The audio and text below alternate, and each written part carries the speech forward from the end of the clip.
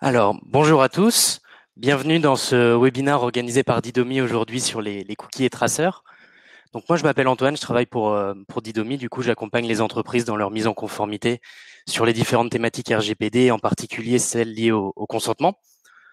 L'objet du webinaire d'aujourd'hui, c'est de vous en dire un petit peu plus sur comment mettre son site en conformité. Il y a pas mal de nouvelles réglementations, recommandations qui sont sorties au cours des derniers mois. C'est de faire un petit peu le point ce contenu-là vous sera envoyé après, à la fin du webinaire, donc n'hésitez pas à le réutiliser dans vos projets de mise en conformité. Si on peut vous aider, ce sera avec grand plaisir. Donc peut-être, avant de commencer, de rentrer dans le vif du sujet, on va vous en dire un petit peu plus sur nous, pour ceux qui ne nous connaissent pas encore. Nous, Didomi, on est une entreprise française qui a reçu le label CNIL de gouvernance des données RGPD. Et on est spécialisé donc en gestion des consentements. On a maintenant des clients dans 17 pays et on édite une solution SaaS dédiée à la gestion des consentements. On a un métier qui est assez simple sur le papier, on peut le résumer en trois grandes étapes. Le premier, c'est de vous permettre de collecter les consentements pour des cookies ou d'autres types de préférences. Derrière, d'être capable de les stocker, de travailler dessus. On pense que ça, ça va être un vecteur de business important dans les années à venir. Et derrière, c'est d'être capable de restituer et partager ces consentements, les restituer dans le cadre euh, d'un contrôle de la CNIL, par exemple, ou pour permettre à un utilisateur d'exercer ses droits ou même de les partager avec vos différents outils tels que vos outils liés euh, au reciblage publicitaire, à vos CRM, marketing automation, etc. Donc, comme je vous le disais, nous, notre solution principale, c'est la plateforme de gestion des consentements pour les cookies qu'on a lancée il y a maintenant un peu plus de 18 mois et qui rencontre un franc succès. En l'espace de 18 mois, on a été installé sur un petit peu plus de 30 000 sites et applications différents. Ce qui veut dire qu'à l'échelle d'un trimestre, on va collecter les consentements pour à peu près 2 milliards d'appareils. Si on ramène ça à un mois, tous les mois, on va collecter des pages pour à peu près, les consentements, pardon, pour à peu près 10 milliards de pages. Donc, on a l'habitude de gérer des trafics importants. Historiquement, notre technologie, elle était plutôt destinée au secteur des médias. Ça, c'est un parti pris de notre côté. Étant donné que ce sont les sites qui ont les plus forts enjeux technologiques, on s'est dit si on est capable d'offrir au marché la plateforme, la CMP la plus avancée qui répond à tous leurs critères, derrière, il n'y a plus aucun site qui va nous poser problème. Donc on est très content, on est devenu une des solutions leaders en Europe auprès de tout le secteur média et on s'étend maintenant à d'autres. On va aider d'autres secteurs d'activité tels que le e-commerce avec Rakuten, l'industrie avec Michelin, les telcos avec Orange. Donc on a vraiment un panel de clients très variés qui va de la moyenne entreprise jusqu'au grand compte. Donc aujourd'hui, l'objectif de notre rendez-vous, c'est d'en savoir un petit peu plus sur ce qu'on peut faire en matière de consentement sur son site. Mais avant, pour vraiment partir d'une base saine, on va regarder un petit peu ce euh, ce qu'est un consentement, ce qu'est un cookie, c'est important. D'autant plus que maintenant, on a une définition qui est vraiment extrêmement claire. Un consentement, il doit répondre à quatre critères différents. Le premier, c'est que le consentement, il doit être libre. Dans les faits, ça veut dire qu'on ne va pas pouvoir conditionner l'accès à un site à l'acceptation des cookies. Ça, c'est rigoureusement interdit. Ensuite, le consentement, il doit être spécifique. C'est-à-dire que c'est la fin de, d'un opt-in global pour l'intégralité des traitements. Maintenant, c'est un choix par traitement, par finalité, éventuellement par partenaire. Derrière, le consentement, il doit aussi être éclairé. L'utilisateur c'est normal que l'utilisateur soit correctement informé sur ce à quoi vont servir ces données à caractère personnel, qui va y avoir accès. Donc là, c'est sur vraiment de l'information pour l'utilisateur. Et enfin, le dernier point, c'est peut-être ce point-là qui a suscité le plus de débats ces derniers temps. En clair, pour résumer les choses, il ne faut pas que le consentement soit obtenu par un moyen détourné. Il faut vraiment que l'utilisateur donne son consentement en son âme et conscience, entre guillemets, là, c'est tout l'opposé de qui ne dit mot consent. Et donc, pour euh, en venir vraiment à nos moutons d'aujourd'hui sur les cookies, dans 99% des cas, la seule base légale que vous pouvez utiliser pour euh, l'usage des cookies, c'est le consentement. Donc, on a commencé à parler un petit peu des cookies. C'est peut-être bien de se dire aussi qu'est-ce qu'un cookie. Un cookie, ça a une image assez négative auprès du grand public, alors qu'au contraire, c'est plutôt extrêmement neutre. Un cookie, c'est un petit fichier qui est stocké dans votre navigateur et dans lequel on va pouvoir stocker des informations. vous êtes extrêmement content, par exemple, de ne pas avoir à ressaisir vos identifiants mots de passe quand vous allez sur votre boîte mail. Ça permet de mémoriser un numéro de carte bancaire pour faciliter vos prochains achats sur les sites e-commerce. Il y a également un historique de navigation, on peut mettre énormément d'informations dedans. En France, la CNIL a pris un petit peu les devants par rapport au RGPD. Elle a imposé une durée de vie limite des cookies à 13 mois. Mais il n'y a pas simplement la, la, CNIL qui va se montrer un petit peu plus coercitif quant aux cookies, il y a également les navigateurs. Donc l'année dernière, Firefox et Safari, donc qui sont quand même des deux navigateurs majoritairement utilisés, ont annoncé des mesures qui vont restreindre l'usage des cookies tiers. Donc ça, ça change un petit peu la donne. Mais la, vraie petite bombe, elle vient de l'annonce de Google, qui en janvier a annoncé que Chrome allait refuser les cookies d'ici deux ans. Donc là, c'est quand même tout un business qui, est remis en question. Au niveau de ces cookies, il est important de différencier deux catégories de cookies. Il y a les cookies tiers et les cookies first. Un cookie first party, c'est un cookie qui va être déposé directement par le domaine. Très souvent, ça va être des cookies liés à la mesure d'audience, à l'analytics. Mais on peut également avoir des cookies third party qui sont les plus majoritairement utilisés. Voilà, je vous ai mis quelques petits exemples d'usage de ces cookies-là. Ça va servir à faire du reciblage publicitaire, ça va servir à adapter le contenu du site en fonction des visites précédentes. Dans tous les cas, que ce soit un cookie première main ou un cookie tiers, il faut s'assurer de la collecte du consentement avant le dépôt du cookie. La bonne nouvelle, c'est que certains cookies vont être exemptés de consentement préalable. Les premiers, c'est les cookies essentiels, les cookies techniques aussi, on appelle ça comme ça.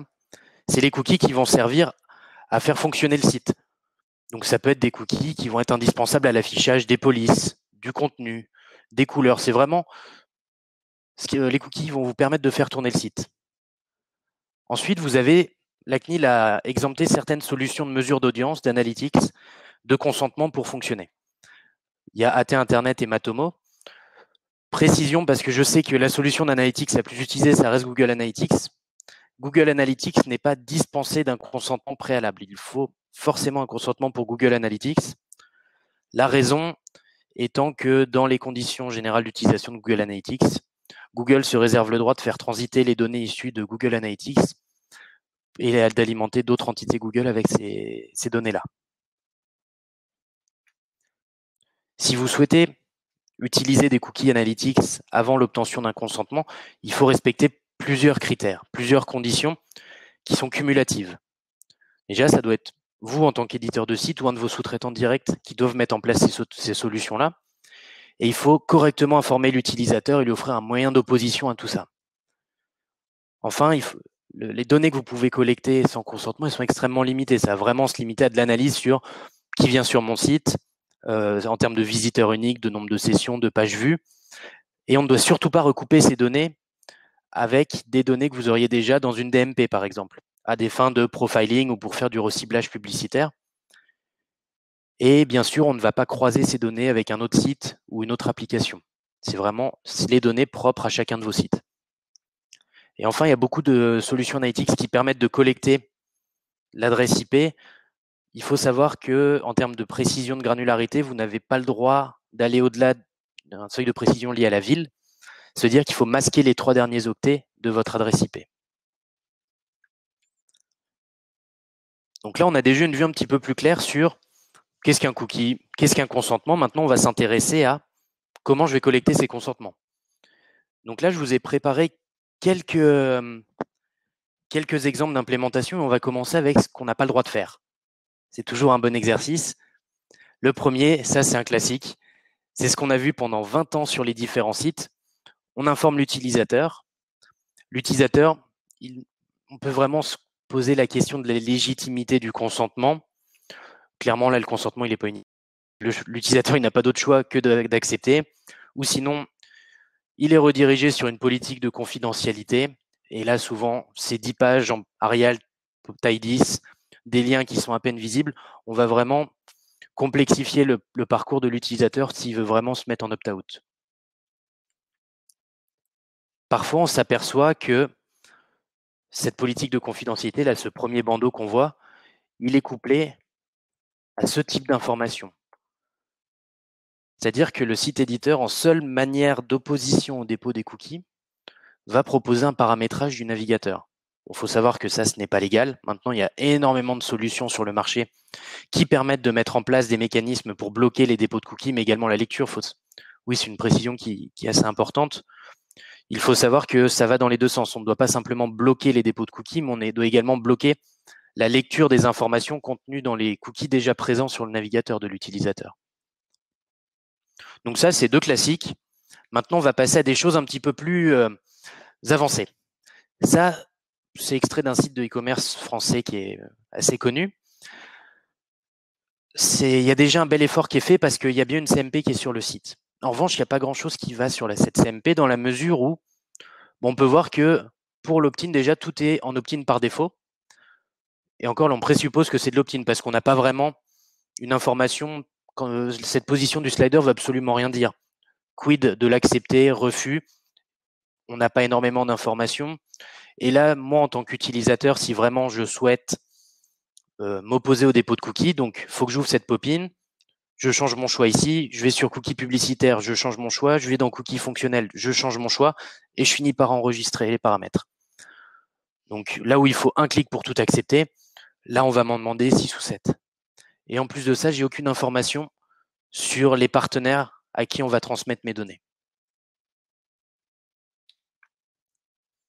Ici, c'est une implémentation assez similaire, où là, pareil, même cas, quand je vois le, bandeau, je veux avoir un petit peu plus d'infos, j'arrive ici. Donc là, tous les choix sont préacceptés par défaut, pas d'informations sur les vendors, et si je veux, encore une fois, m'opposer au traitement sur mes données à caractère personnel, il va falloir que je décoche toutes les finalités une par une, ce qui est encore un peu fastidieux. Donc je vais vous suggérer quelques exemples d'implémentation de nos clients. Donc le premier exemple que j'ai choisi, c'est le site L, qui a décidé d'adopter un format Popin. Donc ça, c'est la, première bannière interstitielle que l'utilisateur voit sur le site. Elle bloque l'accès au site. Donc là, l'utilisateur, il peut exercer un vrai choix parce qu'il est correctement informé. Il peut accepter l'intégralité des cookies ici. Sinon, il va sur paramétrer les cookies. Il est redirigé du coup sur cette, deuxième modale qui va s'ouvrir. Et donc là, l'utilisateur voit les différentes finalités. Donc, dans le cas présent, on est basé sur les finalités de, l'IAB. Donc, ça, c'est le, standard marché pour les solutions euh, de publicitaires, on va dire. Ce qui change avec les exemples qu'on a vus avant, c'est qu'on n'est pas sur un système de slider. Là, on a vraiment des boutons accepter, refuser. Donc, c'est parfaitement compréhensible pour l'utilisateur. Et en plus de cela, l'utilisateur, il a accès directement à la liste des partenaires en cliquant sur le bouton qui est ici des partenaires qui vont potentiellement avoir accès à ces données à caractère personnel. Et enfin, si l'utilisateur souhaite tout refuser, il lui faut qu'un clic. Il, y a une symétrie parfaite entre les boutons accepter tout et refuser tout. Deuxième exemple, une bannière basse, comme on peut le voir sur pas mal de sites qui utilisent ce, ce mode d'implémentation. C'est un petit peu différent du tout premier exemple que je vous ai cité. Une différence qui est majeure, c'est qu'on n'a pas simplement un bouton. Là, l'utilisateur, il peut accepter directement, mais il peut cliquer là pour en savoir plus. Et là, encore une fois, il y a cette modale qui va s'ouvrir. Et l'utilisateur va pouvoir tout accepter, tout refuser, mettre de la granularité dans ses choix. Il va même être capable de faire des blocages au niveau des partenaires. Admettons, euh, je n'ai pas envie que Google ait accès à mes données, je vais pouvoir aller dans la liste des partenaires, sélectionner Google et le bloquer manuellement.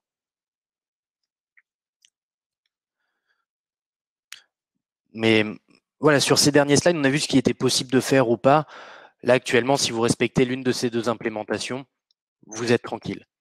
Mais au-delà d'une simple mise en, conformité, c'est même pas un, risque d'amende en fait. Si on y réfléchit bien, la collecte d'un consentement, souvent, c'est le premier point de contact avec un client, un utilisateur d'un site. Donc, pour un utilisateur, je pense qu'il n'y a rien de pire que de se rendre compte que tout est fait pour complexifier les choses c'est absolument désastreux d'un point de vue image de marque. Et c'est en particulier pour cela que le, le RGPD a fait peur aux entreprises. C'est la première fois qu'on a véritablement donné la main aux utilisateurs sur leurs données. Si on y réfléchit bien, qu'est-ce qu'un taux de consentement? C'est ni plus ni moins que le reflet d'un capital confiance dans une marque. J'ai confiance dans cette marque, je vais lui confier l'accès à mes données personnelles. Cette entreprise-là, j'ai jamais commandé chez eux, je les connais pas beaucoup, je vais y aller avec précaution, je vais limiter l'accès à mes données personnelles. L'entreprise de demain, c'est l'entreprise qui aura compris ça Et c'est l'entreprise qui va véritablement permettre à l'utilisateur d'exercer facilement ses droits. Donc nous, on accompagne les entreprises dans cette dimension-là. Et tout en se mettant en conformité, ça va être un moyen, un levier pour faire plus de business à terme. Donc comme vous le savez, il y a eu pas mal de, changements. Là, on parlait de l'entreprise de demain, mais on peut peut-être s'intéresser à un futur euh, un petit peu plus proche, puisqu'on va parler des, des modifications qui doivent intervenir sur votre site d'ici juillet 2020. Donc là, je fais référence aux recommandations de la CNIL qui sont sorties en juillet 2019. Vous aurez accès au, il y a le lien qui est dans le, sur le slide. Vous pourrez y accéder directement depuis la présentation. La CNIL vient donner plus de précisions sur les consentements et en particulier les différentes caractéristiques que doivent respecter un consentement. C'est ni plus ni moins qu'une transposition de ce qui est attendu par le RGPD. Mais en gros, on va demander de vraiment respecter le caractère spécifique du consentement, c'est-à-dire la personne de consentir à toutes les finalités, tous les partenaires, donc un tout accepter ou tout refuser, mais également la possibilité de consentir spécifiquement à chaque finalité. Au niveau du consentement et du fait qu'il soit éclairé, il la CNIL précise qu'il est important que l'utilisateur ait un accès facile aux différentes entités qui vont avoir accès aux données à caractère personnel. Enfin, elle donne des précisions sur l'aspect univoque du consentement, qui est peut-être la dimension la plus délicate à appréhender en entreprise, et en particulier les cases précochées. Donc que ce soit le fait de préaccepter ou pré-refuser, ce n'est pas légal. Ça a même été confirmé par euh, la Cour de justice de l'Union européenne au mois d'octobre, dans le cas de l'affaire Planète 49, qui est donc un site média allemand, qui a pris une amende et par l'équivalent CNIL en Allemagne, et ça a été confirmé euh, lors de l'appel par la Cour de justice de l'Union européenne. L'utilisation de casse précochée est interdite et invalide les consentements qui ont pu être collectés par ce biais. Et enfin, une nouvelle chose, c'est que la CNIL attend des entreprises qu'elles répondent directement, qu'elles soient capables de prouver qu'un consentement a bien été collecté. Donc pour ça, nous, chez Didomi, la manière dont on fonctionne, c'est que quand on va, nous Didomi, on va collecter le consentement d'un utilisateur, on va déposer un token, c'est un cookie, dans le navigateur de cette personne. Ce token est associé à un ID utilisateur généré par Didomi, et à cet ID, on va associer une liste de finalités et de partenaires pour lesquels l'utilisateur a consenti. Donc, si un jour un utilisateur écrit à l'adresse mail dpo@entreprise.fr expliquant qu'il ne comprend pas pourquoi il voit des pubs de cette entreprise alors qu'il n'a jamais donné son consentement, votre utilisateur peut directement retrouver cet ID utilisateur sur votre site. Il l'envoie et là, vous êtes capable de lui dire, mais si monsieur, on a une preuve de la collecte du consentement tel jour à telle heure pour telle liste de finalités et telle liste de partenaires. Dans le même sens, on est capable de restituer l'historique de la collecte des consentements au cours des cinq dernières années. Donc ça, c'est plutôt dans le cadre d'un contrôle global de la, part de la CNIL. Mais en soi, c'est une garantie pour vous. Plus récemment encore, la CNIL a lancé en fin d'année dernière un projet de consultation publique en vue des prochaines recommandations à venir qui devait être publié euh, il y a quelques semaines, mais avec l'actualité, la CNIL a décidé de reporter cette publication. Et donc là, il y a, il y a pas mal de changements à prévoir au niveau de la mise en place. Celle qui va probablement être la plus impactante, c'est le fait que la CNIL demande une symétrie parfaite en matière d'implémentation sur les boutons accepter et refuser.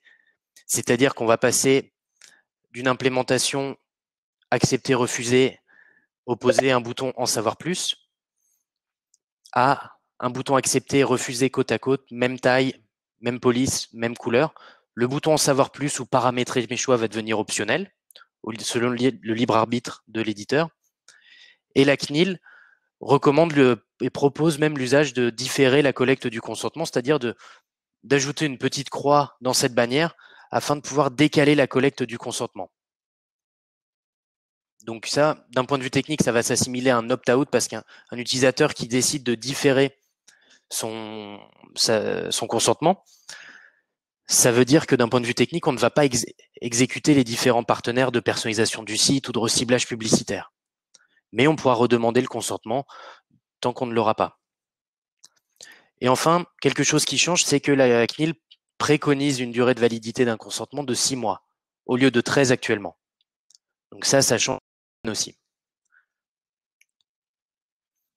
Par contre, bonne nouvelle, de plus en plus de solutions peuvent être, exemptées d'un consentement préalable. Donc il y a bien sûr les cookies liés à la gestion du consentement, tels que le cookie d'IDOMI que je viens de vous présenter. Également, cookies traceurs d'authentification qui vont vous permettre d'identifier vos utilisateurs, ainsi que les cookies liés au panier d'achat. Par exemple, si vous êtes un site e-commerce, l'utilisateur quitte son, votre site sans avoir euh, validé son panier, finalisé sa commande. S'il revient dans les prochains jours, vous allez pouvoir lui rafficher la commande qu'il avait en cours. Vous pouvez également utiliser des cookies de personnalisation de l'interface pour tout ce qui va être euh, lié à l'expérience client. Les cookies traceurs de performance qui sont assez liés aux cookies de mesure d'audience dans une certaine mesure. Et enfin, les cookies qui vont permettre aux sites payants de limiter l'accès gratuit à leur contenu, c'est plus dans le cadre des, sites médias, par exemple, avoir quatre ou cinq articles gratuits avant de devoir passer à une formule payante. Et la CNIL a même été extrêmement transparente puisqu'elle a, a publié donc toute une série de recommandations qui permettent d'ores et déjà de se mettre en conformité, mais elle a même annoncé la couleur en matière de contrôle pour l'année 2020. Elle a annoncé les trois grands axes sur lesquels elle allait euh, focaliser ses contrôles. Le premier, c'est lié aux cookies et aux traceurs. La CNIL va vouloir s'assurer que les consentements ont été collectés d'une manière légale. Il en va de même pour la géolocalisation et même ces, deux axes sont assez liés parce que si on a un consentement pour la géolocalisation, il n'y a pas de problème. C'est simplement que la géolocalisation sans consentement, c'est plutôt à prendre avec des pincettes. Et enfin, forme de télémédecine, c'est un secteur qui est extrêmement en vogue, mais c'est un secteur qui est amené à manipuler beaucoup de données sensibles. Donc la CNIL va s'assurer que les, données à caractère sensible des utilisateurs soient bien protégées. Voilà, donc toutes ces différentes modifications, adaptations, recommandations, ça va induire des changements majeurs dans les entreprises. La première, c'est même pas lié uniquement à l'entreprise, c'est un petit peu dans, le monde de chacun d'entre nous. Notre navigation sur Internet va changer parce que les utilisateurs vont avoir massivement accès à des vrais choix effectifs. Ils vont pouvoir s'opposer à du tracking, à de la personnalisation de manière réellement effective. La conséquence qui va découler de tout ça, c'est qu'il faut prévoir une évolution sur les taux de consentement. Actuellement, on est, les taux de consentement sur le marché sont extrêmement élevés. On va être entre 85 et 95 Donc, il faut prévoir quand même une baisse des taux d'opt-in de la part de vos utilisateurs. Mais est-ce que c'est pas le moyen de repenser un petit peu sa stratégie d'entreprise? Pendant des années, les entreprises ont collecté massivement des données, parfois sans savoir ce qu'il était possible d'en faire ou sans même utiliser cette donnée. Donc on a perdu, on a connu les, périodes d'abondance avec une utilisation démesurée de la data. Est-ce que là maintenant on va pas se recentrer sur de la donnée utilisateur que l'utilisateur est prêt à nous céder? Et travailler sur la méthode de collecte de la donnée Est-ce qu'on a besoin de collecter toute la donnée dès la première interaction avec un utilisateur? Ça, c'est autant de chantiers qui vont s'ouvrir dans les années à venir. Et une des dernières conséquences qu'on a pu identifier à toutes ces recommandations, ces modifications, c'est que ça va nécessiter du travail en entreprise. Ça va nécessiter, de, de changer un petit peu les méthodes de travail qu'on connaît actuellement. Parce que, comme je vous le disais tout à l'heure, un taux de consentement, c'est le reflet d'un capital confiance dans une marque. Et donc, il va être indispensable pour une entreprise de travailler sur ces taux de consentement par le biais d'outils analytiques, d'outils d'AB test, nous, on accompagne nos clients, par exemple, en travaillant sur des formats, des couleurs, des polices. Est-ce que, en adaptant un petit peu le langage adopté dans les bannières de consentement à la ligne éditoriale du site, par exemple, est-ce que ça change les, les choses Il y a vraiment une réflexion qui va être induite sur tout ça parce qu'il va y avoir des transformations majeures dans toutes les données utilisées dans l'entreprise. Donc, en parlant de, données, j'aimerais vous montrer un petit peu les principales étapes que suivent nos clients dans le cadre d'un projet de mise en conformité. Donc en utilisant ce qu'on appelle une consent management platform.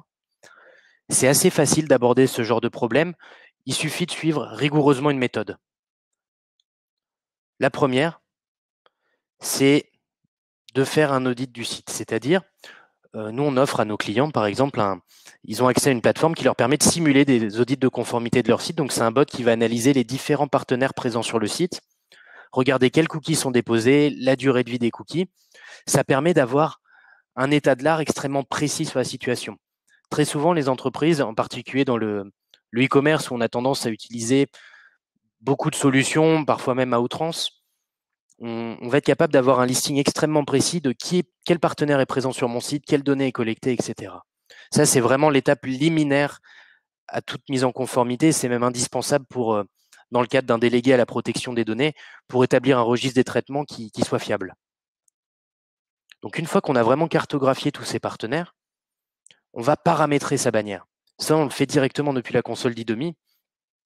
Quel message je vais mettre en place? Quelle expérience client j'ai envie de faire vivre à mes utilisateurs? Est-ce que j'ai envie de partir sur un format Popin ou plutôt une bannière basse? Les couleurs, etc. Le but, c'est d'offrir une bannière qui n'apparaisse pas comme une verrue sur le site, mais qui soit véritablement quelque chose de parfaitement intégré à l'expérience que vous souhaitez faire vivre à vos utilisateurs. Donc là, on a, à la fin de la deuxième étape, on a donc une bannière qui est dans une console à laquelle on va intégrer différents partenaires que vous avez répertoriés au cours de la cartographie et on va déployer cette bannière sur vos différents sites. On va l'intégrer aux différentes solutions de tag management. C'est des choses qui sont communément utilisées pour déployer les partenaires plus simplement sur le site. Et on va s'assurer en effet que les cookies sont bien bloqués. C'est souvent un petit peu plus complexe que cela n'y paraît à premier abord parce que c'est pas simplement des cookies. Sur tous les sites maintenant, on va avoir des boutons de partage Facebook, LinkedIn, Twitter tous ces boutons de partage utilisent des pixels d'analytics, etc. Donc, il faut bien s'assurer. La collecte de données à caractère personnel, elle est vraiment multiple sur un site. Il y a énormément de partenaires qui peuvent y avoir accès. Ça peut être compliqué parfois de vraiment tous les identifier. D'où l'intérêt de s'appuyer sur l'expertise d'un professionnel. Et enfin, un projet de mise en conformité, c'est pas quelque chose de figé dans le temps. Une fois que la bannière est déployé sur le site, qu'on collecte d'une manière conforme les, consentements, c'est un chantier sur lequel on va travailler. On va essayer de travailler sur tout d'abord le design des arrondis de boutons, des formes, des couleurs, des, images. On travaille sur des bannières animées, par exemple, pour vraiment offrir une expérience unique aux, aux utilisateurs. Et on va suivre ces taux de consentement. Parce que, mine de rien, pour un site e-commerce, ça va impacter énormément le, chiffre d'affaires derrière, parce qu'il y a une part non assez significative du chiffre d'affaires qui provient d'utilisateurs qui ont été reciblés par la pub et qu'on va récupérer comme ça sur, euh, sur Internet. Donc on va suivre ces taux de consentement et on va faire des AB tests pour toujours travailler dessus. Le but, c'est vraiment d'induire une réflexion. Comment je vais pouvoir gagner deux points de consentement ici, trois points là, etc. Et nous, c'est vraiment dans cette démarche de projet qu'on est avec, euh, qu'on accompagne nos clients et qu'on cherche à les vraiment à les pousser vers le haut et c'est pour ça que c'est une dimension qui est plutôt assez pérenne dans le temps. Hop. Donc voilà, là c'était vraiment, comme je vous le disais, cette présentation, on va vous l'envoyer après le, le webinaire. N'hésitez pas à vous en servir comme d'un outil de réflexion pour vos, chantiers à venir. En plus de cela, là, on, va, on a un, livre blanc qui s'intitule Vie privée, préférences clients, qui va être disponible sur le site dans les jours prochains, donc n'hésitez pas à le télécharger. On aborde tout ce qui va être notion de consentement avec beaucoup plus de précision et de détails. Si vous avez des questions, n'hésitez vraiment pas à me les poser, soit directement maintenant dans le, dans le chat, soit euh, en nous envoyant directement un mail à antoine.clément.didomi.io ou, ou depuis le site, il n'y a, y a aucun problème. Pour ça, donc, est-ce qu'il y a des questions? Alors, apparemment, il y a quelques questions. Avant juillet. Alors, une question de comment se passe le suivi du consentement sur les navigateurs sans cookies? Alors ça, c'est une très bonne question. Comment se passe le suivi du consentement sur les navigateurs sans cookies? Alors en général, on va être capable de matcher le consentement avec un user ID. Parce que même nous, pour stocker la preuve d'un consentement, comme vous le soulignez, on va la déposer dans un cookie d'IDOMI. Euh, si ça, c'est quelque chose qui n'est pas possible, je pense en particulier euh, à l'INAP, on collecte les consentements dans pas mal d'applications. Là non plus, on est dans un environnement où il n'y a pas de, cookies, donc ça, c'est quelque chose qu'on est capable de faire. Alors, question d'Annie. avant juillet 2020, cette date va-t-elle être reportée? Euh, non, celle-ci, elle est figée parce que c'est une série de recommandations qui est disponible depuis juillet 2019. Et même si on y réfléchit bien, c'est des choses qui sont même disponibles depuis juillet 2016. Si beaucoup de CMP permettent pas de le faire pour l'instant, c'est probablement qu'une petite incompréhension euh, sur la lecture du, RGPD. Mais dans tous les cas, si on s'en tient vraiment à une définition stricto sensu d'un consentement et quel critère, à quel critère il doit répondre, euh, les recommandations de juillet 2020 ne font que les appliquer.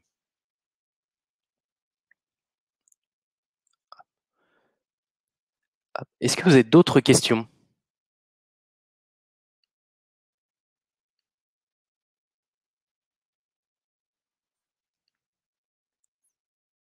Il semblerait que non. si jamais d'autres questions viennent, n'hésitez surtout pas à nous les envoyer par, euh, mail directement, à nous contacter.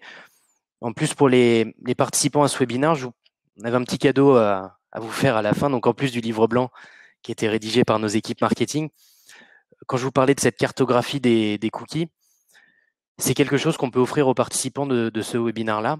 Donc, il suffit de nous, de nous prévenir par email, envoyer un email à, soit moi, soit à contact à didomi.io. Et on va faire cet audit de conformité sur votre site et on vous présentera les résultats. C'est complètement gratuit, bien évidemment, et ça vous permettra d'avoir une vue assez exhaustive de ce qui se passe sur votre site et peut-être d'amorcer un projet de mise en conformité. On se fera vraiment une joie de, vous aider dans cette, dans cette réflexion-là. Donc, s'il n'y a pas de questions, bah, écoutez, je vous remercie pour votre attention. Et je vous dis euh, bah, peut-être à bientôt. Et en tout cas, merci beaucoup pour euh, votre intérêt euh, sur ce sujet-là.